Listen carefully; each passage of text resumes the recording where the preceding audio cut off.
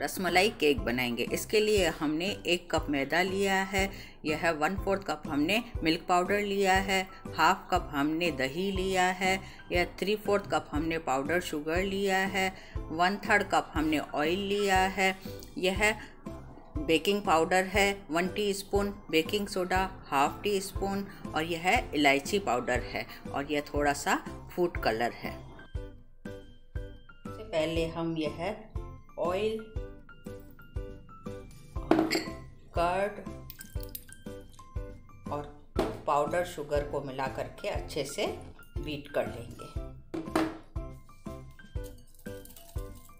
यह हमारा मिक्स हो गया है। अब हम इसको दो मिनट के लिए साइड में रख देंगे और हम बेकिंग के लिए यह कंटेनर लेंगे। यह सिक्स इंच का कंटेनर है। इसको हम अच्छे से ग्रीस कर लेंगे और इसके साइड में हम यह पेपर रख देंगे।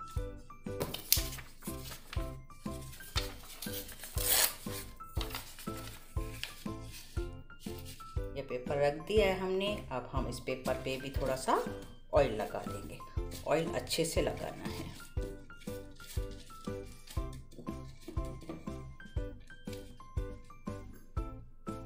कंटेनर बन करके तैयार है। अब हम ये वापस से ले लेंगे और हम अब इसमें मैदा डालेंगे इसमें। मिल्क पाउडर डालेंगे। Baking powder baking soda cut and fold करते हुए हम मिक्स कर देंगे। अब हम इसमें यह है इलायची पाउडर डालेंगे और one four teaspoon almond essence इसकी कंसिस्टेंसी बहुत थिक लग रही है। अब इसमें हम रस मलाई का रस डालेंगे। रस थोड़ा थोड़ा करके डालेंगे। इसकी कंसिस्टेंसी जब तक सही नहीं हो जाती, अब इसको अच्छे से मिक्स करेंगे। अब इसकी कंसिस्टेंसी बिल्कुल सही है, अब हम इसको कंटेनर में डाल देंगे।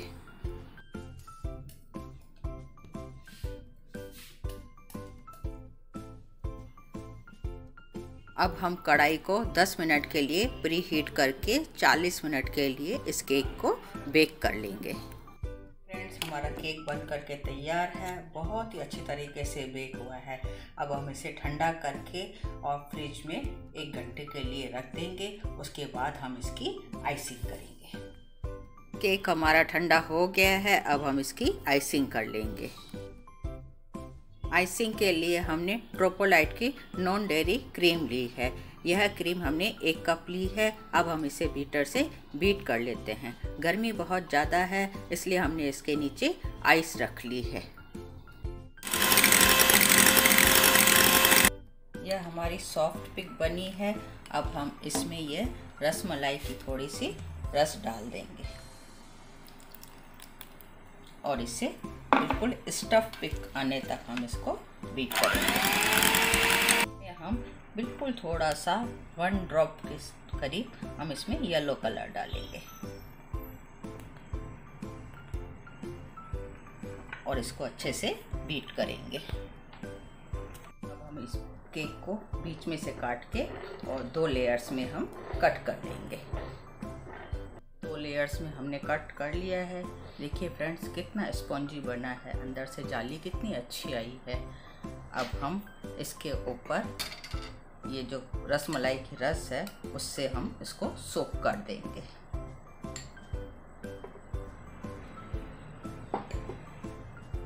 मलाई से हमने पूरा अच्छे से सोप कर दिया है।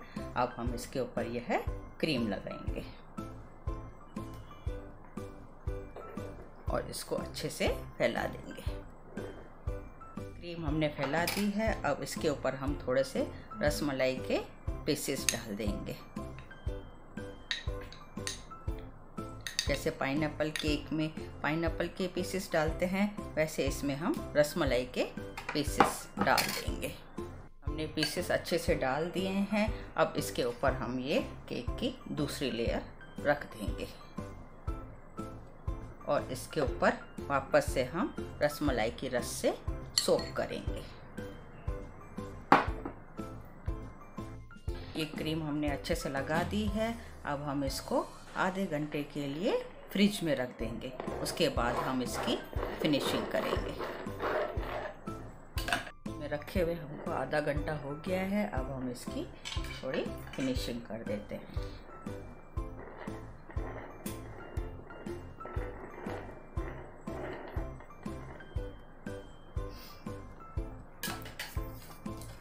प्लास्टिक शीट लेंगे और इसको हम प्लेन कर देंगे।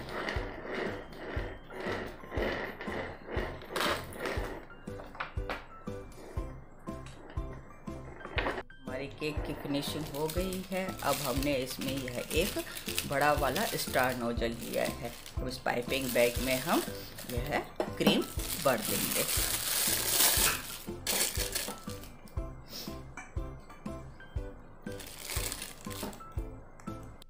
पे थोड़े से यहाँ पे रोज फ्लावर बना देंगे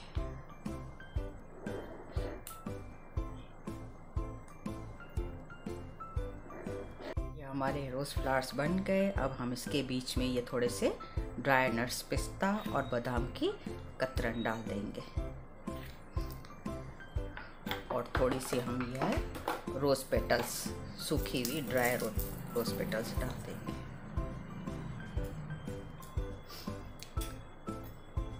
यह हमारे पास रसमलाई के थोड़े से पीसेस हैं। इसको हम यहाँ पे रख देंगे। अब हम इसके ऊपर भी थोड़े से ड्राई नट्स डाल देंगे। थोड़ी सी यह ड्राई रोज पेटल्स डाल देंगे।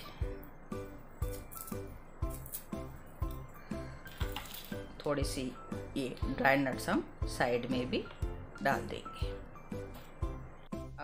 इसके साइड में बॉर्डर लगा देंगे। देखिए फ्रेंड्स, कितना अच्छा बनकर के तैयार हुआ है हमारा रसमलाई का केक। अगर आपको मेरा वीडियो अच्छा लगा हो तो प्लीज़ मेरे वीडियो को लाइक कीजिएगा। अगर आप मेरे चैनल पर नए हो तो मेरे चैनल को सब्सक्राइब कीजिएगा। और साथ में पास में लगी हुई बेल आइकन को भी ज़रूर प्रेस कीजिएगा, ताकि मेरे आने वाले वीडियो का नोटिफिकेशन आप तक पहुँच सके। Thank you.